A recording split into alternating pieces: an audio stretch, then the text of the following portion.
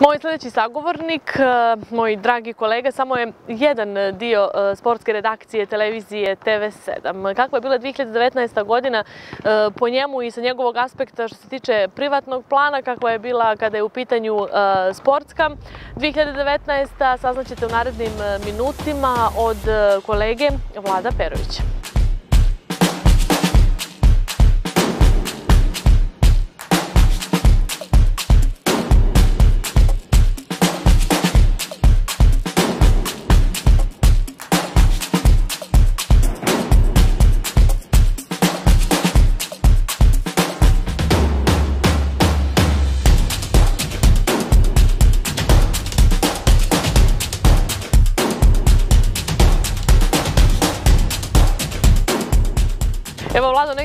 Svim kolegama ovaj, osvrnula se na proteklih 365 dana i kako ti ocjenjuješ 2019. godinu? Pa dobro, meni je bila specifična nekako, jako intenzivna. Nešto ovako, ako gledamo te neke klasične stvari, digitron, dosta nekih uspona i padova, ali po meni čini mi se da je to bilo baš kako treba i možda u pravom trenutku negdje i gledajući moje godine i neke stvari koje su mi se izdešavale u prethodnom periodu, mislim da sam onako lijepo testiran i da sam imao mnogo stvari koje sam mogao sebi da pokažem, da dokažem, neke stvari koje nisam mislio da ću da radim, radio sam.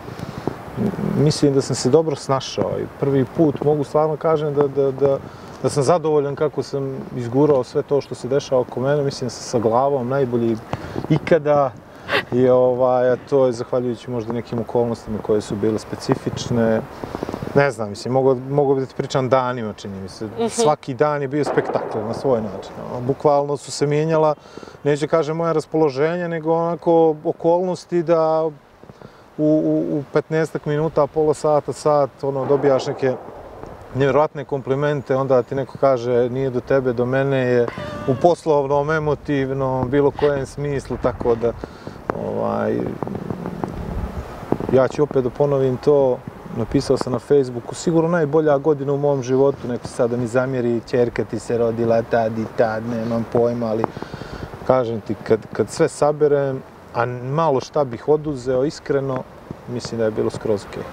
Pa negdje ovaj, stičem ja utisak da svi kad smo podvukli crtu i kad smo se malo osvrnuli na prethodnih 365 dana, svi su zadovoljni 2019. godinom, kako na privatnom, tako i na poslovnom planu. Evo sam si pomenuo e, tvoju čerku e, Ivu.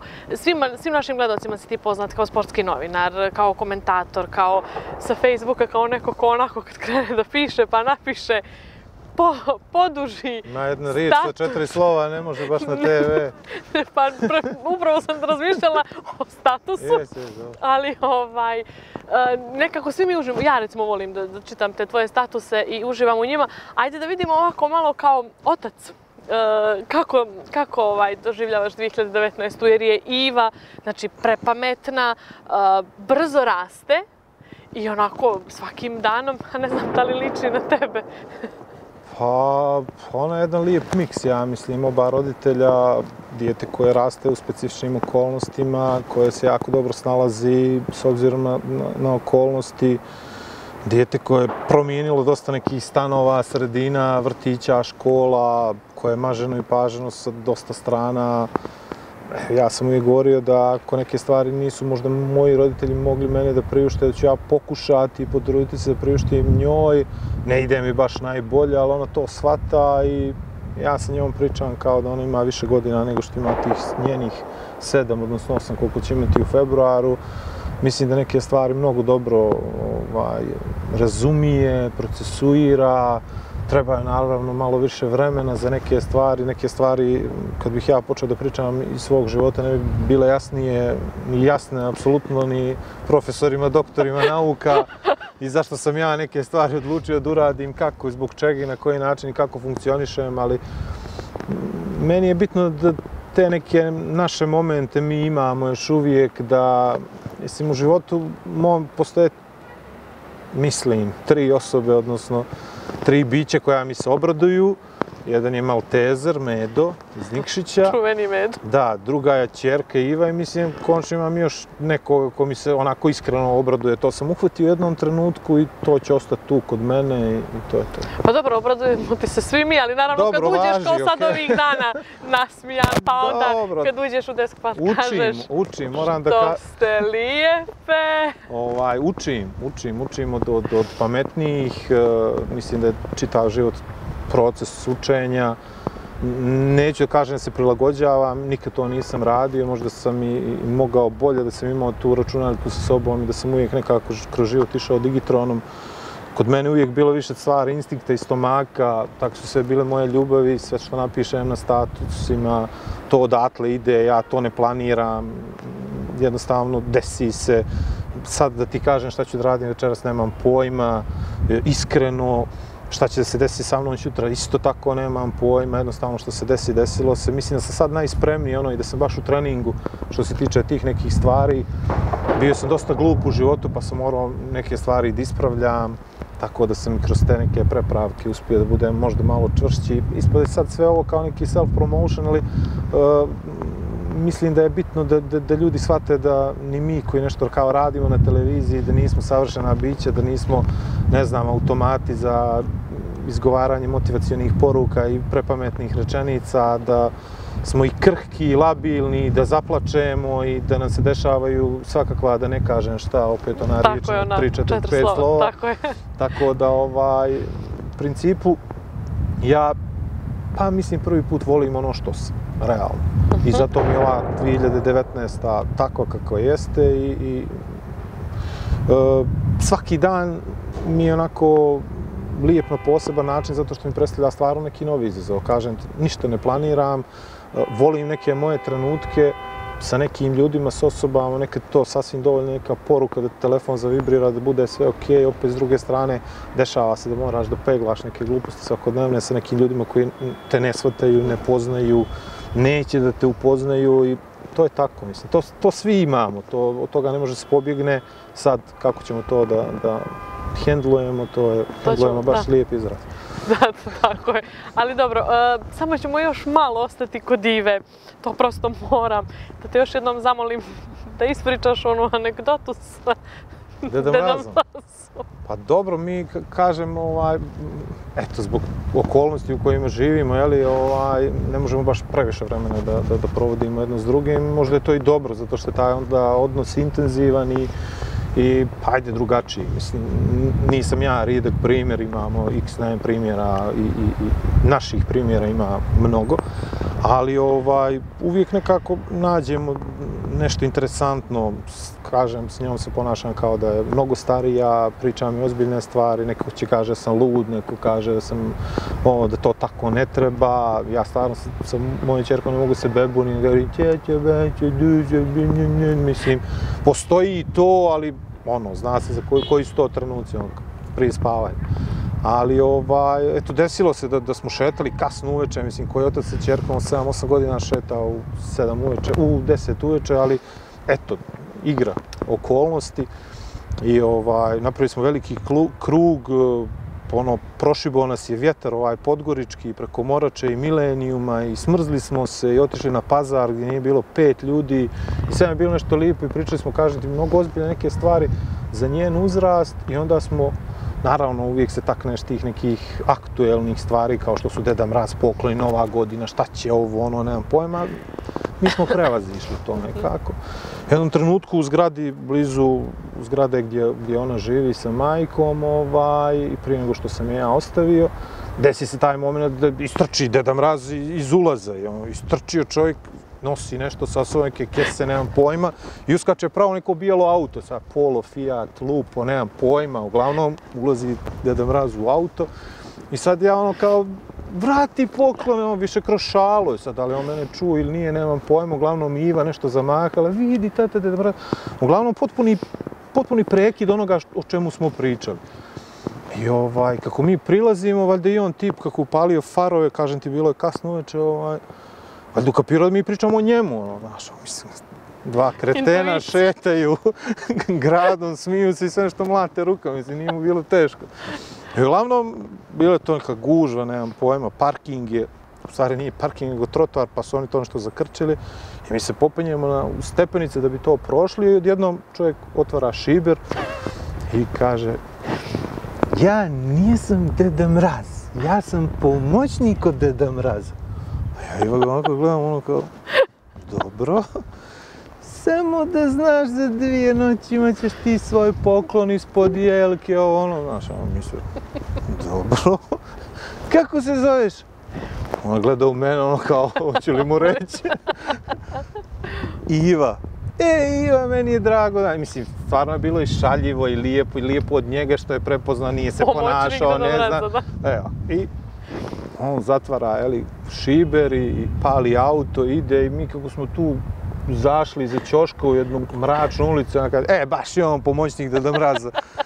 I to su ti neki momenti koje ne možeš da kupiš, znaš, koje ne možeš Koje? da, eto to, mm, nisam ja insistirao na tome da joj kažem da ne postoji Deda Mraz, nego ona ukapirala da postoje mama, tata, tetka, djed, baba, Koji koji, se trude oko, oko poklona i Tako oko, je. i, oko svega. Tako, e pa dobro, ajde sad malo da se vratimo u poslu. Uh, sportsku redakciju televizije TV7 ne činiš samo ti. Tu je i naš uh, kolega. Luka Đuretić, koji evo, nije sa nama, sa njim nećemo ovaj, se osvrnuti na 365 dana, ali on je tu. Uh, ne znam, kakva je bila godina sportska? Pa dobro, mi, mi smo malo onako perideri, što bi rekli ovi moji iz pasivnih krajeva.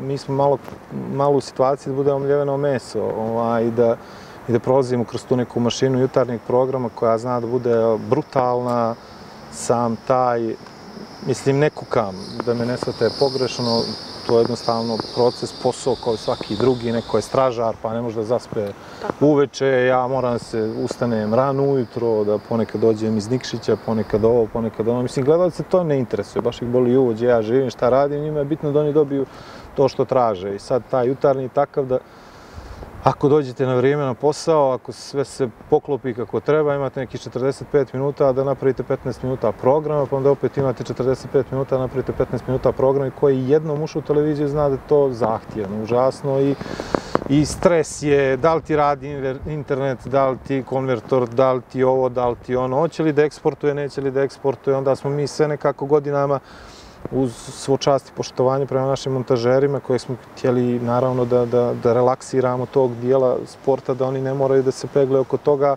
i mon, montiramo to što radimo da bi bio čitav taj proces brži, ovaj, tako da, da dosta je stresno i sad četiri puta ja, tri puta on, pa sljedeće nedelje tri puta ja, četiri puta, sve tako. I onda je to malo, zna da bude naporno i čak iskreno bilo je u, u toku ove 2019. ovaj momenata kad, kad dođem samo sebi kažem šta ja ovo radim, mislim, sve je isto po istom tragu, uh, idu događaji, mi, mi to moramo da, da, da pripremamo na ovaj ili onaj način, niko te ne pita, kažem opet kakvim uslovima šta gdje, ali ova, ta ljubav prema poslu postoji, ljubav prema sportu postoji, Luka je divan dečko koji je malo stidljiv i ne voli kamere na taj način ili ne dopušta da, da, da priča o sebi, što si ukapirala i ti sad.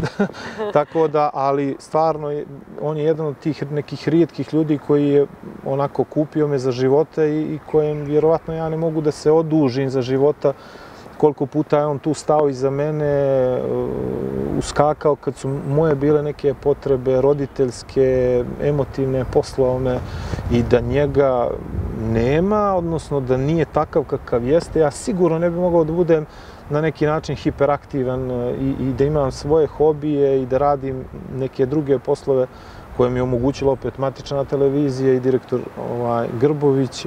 Tako da, da o, ne znam, da sam imao nekog drugog saradnika, vjerovatno ne bih ni ja bio ovako aj neću sad glupo kažem u centru pažnje, ali to što si pomenula, svi me znaju kao sportskog novinara, znaju me kao nekoga ko piše ponešto na Facebook, mislim, to ne bi bilo moguće da tog momka nije, kažem i koji je ono, bezuslovna neka ljubav između nas dvojice i saradnja, onako prijateljstvo koje, et, ja sa bratom se ne čujem ono porukama, ne čujem se ni sa Lukom porukama, ali kad se čujemo to ima smisla i, i, i meni on, ne znam, opet, znači mi, baš mi znači mnogo sutra da promijeni posao, da ovo, da ono, i ja bih digao ruku da kažem, Luka, idem ja. ne mogu.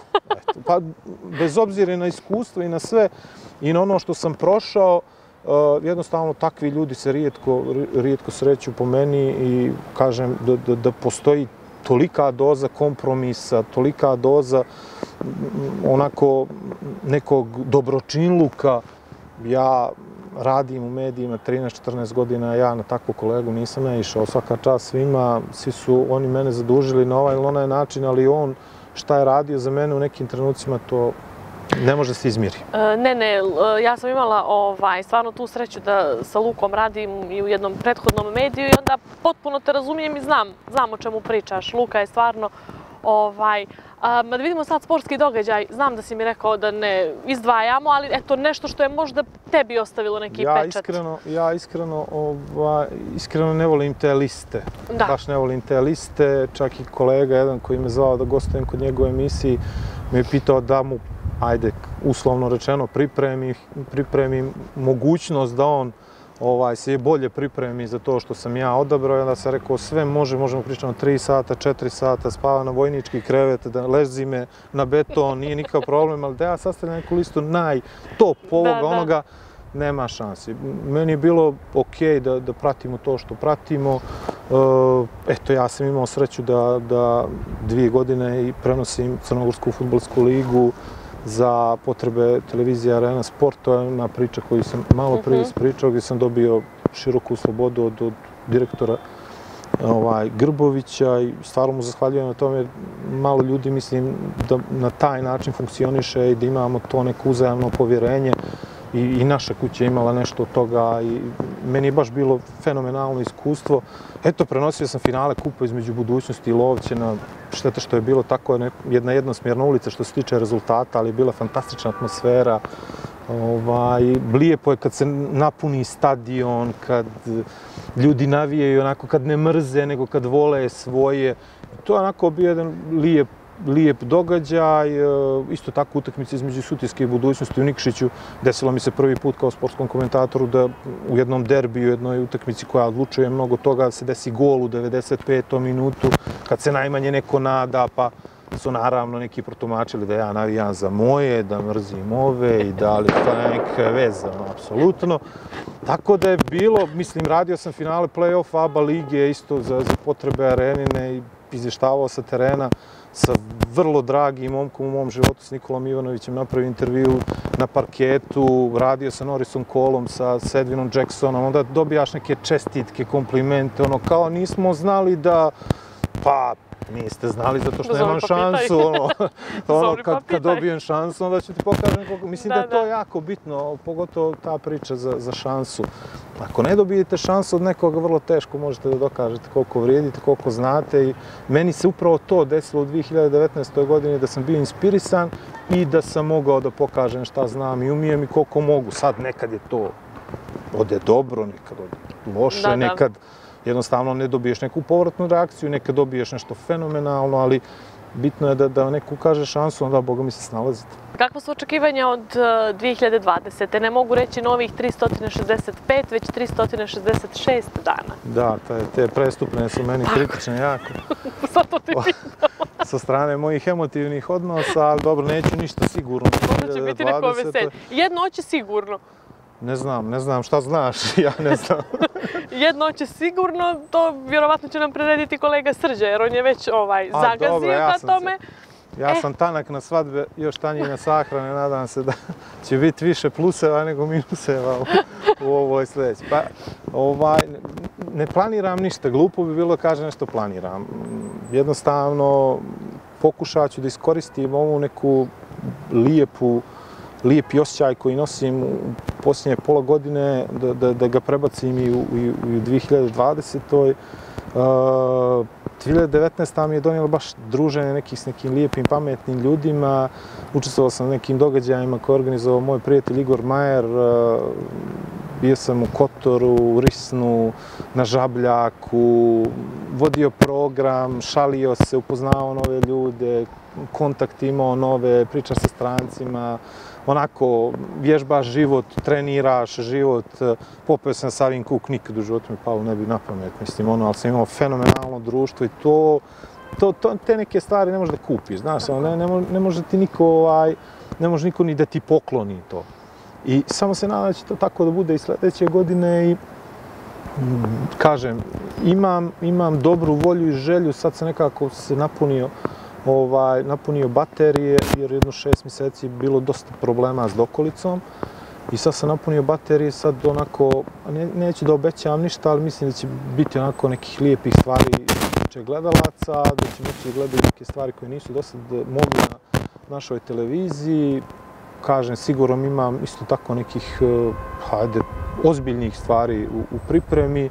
A i da ostane sve na ovome što smo radili prošle godine, mislim da je ono super, jer eto, ja, on je našao taj neki izraz mikroinfluenceri, to influencer se meni ne sviđa, ne sviđa se ni njemu, ali lijepo je, znaš, kad, kad neko priđe i kaže, slušao sam te, gledao sam te, znaš, on, pa ti pošalje poruku, e, onu poruku što si ti nama, pa sam ja poslao na, i pa neka je dvoje. Tako je. Znaš, baš je taj, E, obično tad imaju predrasute ljudi prema, prema nama koji radimo na televiziji kako smo nešto daleko, pa smo ovakvi, onakvi, pa ne možeš s nama ovo ili ono, sve se može, ne mora sad niko da me, da me, da me hvali, da bih ja shvatio to kako treba, mogu svi da me kritikuju, ostalo ja napravim milion, brdo gluposti svakog dana, ali volim tu neku interakciju i to mi mnogo znači u životu i volim, volim odnose, volim da razgovaram sa ljudima, i, i uvijek nekako nešto novo naučiš. Znaš, on, neko te gleda sa strane, neko te gleda ono kao da si bahat, ovo, on, dobro, mene teško, ali,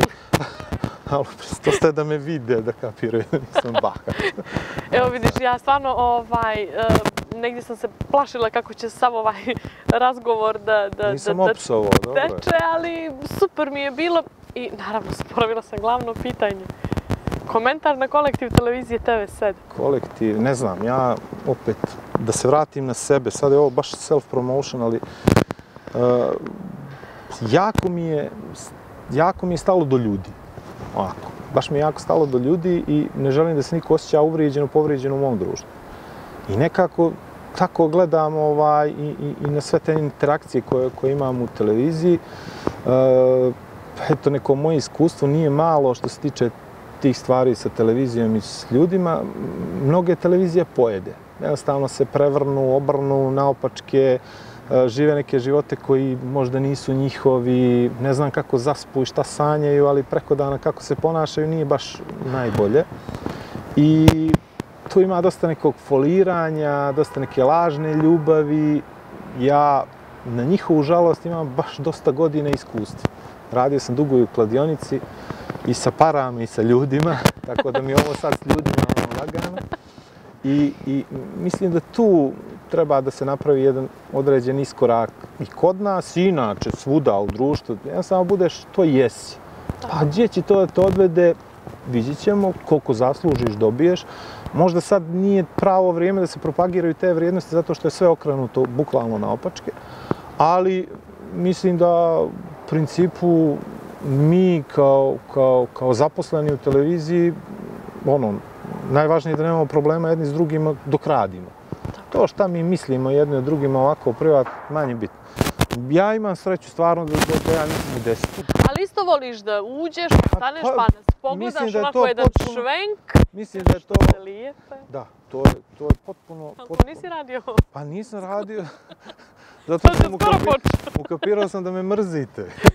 Ovaj, ne, ne, šalim se. O, ne, e, mislim da ti momci koji su prije momačka ekipa, onako, za svadbe i za sahrane, ali ovaj, imamo tu neku dozu zajedničkog cr crnog humora koja nas nosi i, i nekako nam lakše prođe dan, vrijeme koje provodimo tamo.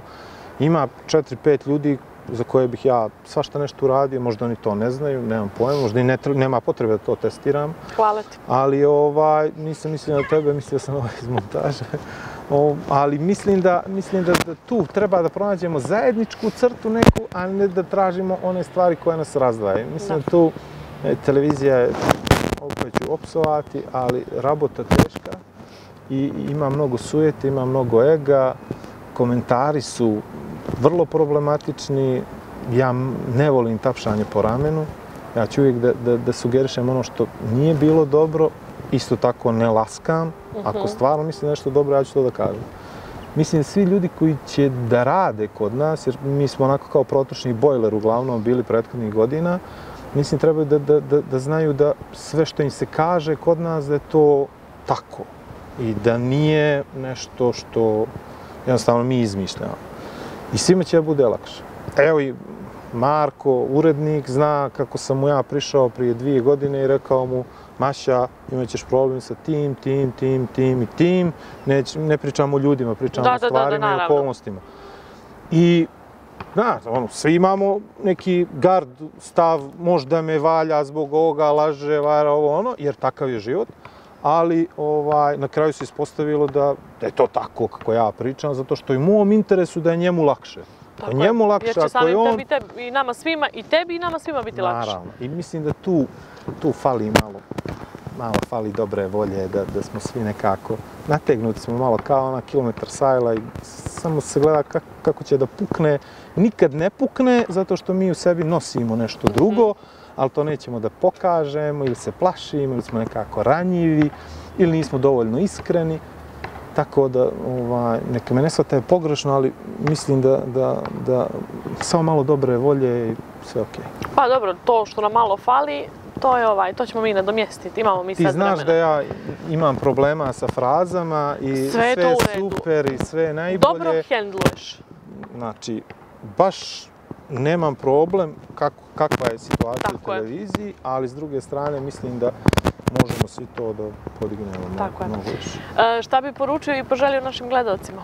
Ja, puf, šta bi poručio sa sve Deda Mraz, šta treba da nosim darove, poklon. Budi pomoćnik, ajde. Uh, da im se desi što se meni desilo u 2019. Da budu posvećeni, da nađu ljubav, bilo kakvu, ne kažem bilo kakvu, bilo kakvu prvu na koju nalete, nego da pronađu stvarno neku ljubav u sebi. Ja sam kopirao da, da, da je ljubav u stvari neko vrijeme koje si e, spreman da posvetiš nekome i meni se to odnosilo. Ako preživim ovaj intervju, nadam se da će, nadam se da će u, u 2020. biti više ljudi koji će imati dovoljno vremena da se posvete onima koji su im najbitniji. U ovom trenutku ja sam donio neke odluke u svom životu koje su takve kakve jesu, moje su, i vrlo mi je drago što se sve taj krug na, na vrlo mali broj osoba i nadam se da će to tako dostane, ne zato što sam ja neka sitna duša, nego mi je vrlo ugodno u njihovom društvu na ovaj ili onaj način. Pa dobro, sebi stvaramo svi neki, ovaj, što bi rekli, udobno okruženje gdje mi možemo da budemo onakvi baš kakvi jesmo. To su sve naši izbori. Tako ili je. dobri ili loši, to su naši izbori, treba da se nosimo s tim. Ja ću da se trudim se nosim s mojim izborima, vi ću da li ću uspjeti i to je to. Samo nemoj da mijenjaš ono, nego uđi svaki dan u desk, pa i tri puta ako treba i kaži kako ste lijepe. Ja kad sam vidio da, da, da prija ja to i poslušao sam savjet iskusnijeg čovjeka, svidjelo mi se i kažem, mi nešto što je dobro, nema srećni. potrebe da se mijenja. Sad što ja mislim o vama, to je druga Dobro, o tom potom, nekom drugom prilikom. A, ništa, Vlado, samo da ti zahvalim ovaj, što si me stvarno kao i sve ostale kolege podržao u ovom projektu a, da negdje našim gledalcima... Lako je sebi pričati. negdje našim gledalcima ovaj, iz naše perspektive sumiramo 2019. Na poslovnom planu stvarno ti želim još mnogo, mnogo, mnogo uspjeha. Svih on, sve one stvari koje nisi uspio iz ovog ili onog razloga da ispuniš, da ispuniš. I naravno kao ocu jedne slatke djevojčice da stvarno svakog dana budeš ponosan na nju i sve ono ono što zamisliš u ponoć da ti se počne ostvarivati već od 1. januara? Evo, samo da, da, da, da ti ispravim navode. Ovaj, nemam nikakvih želja, baš nemam nikakvih želja, nemam nikakvih nadanja, nemam pa sad... Pa pomisliš na nešto? Ne, apsolutno ne. Što se tiče posla, baš ne. Šta se desi, desilo se. O ovim drugim stvarima, kažem ti, nekako nova godina i novogodišnje rezolucije baš nešto ne varim ja ću ponedjeljak, ono, kad je najgore svima da odlučim nešto, odnosno neću da odlučim ništa, tako da ću da, da se time i vodim i dalje. Mislim da ljudi ovaj, griješe kad e, podvode sebe pod određene datume, kad uh, su robovi nekih navika. Jednostavno treba malo da se opušte i, i, i bit će svima bolje. Mislim da će biti svima bolje.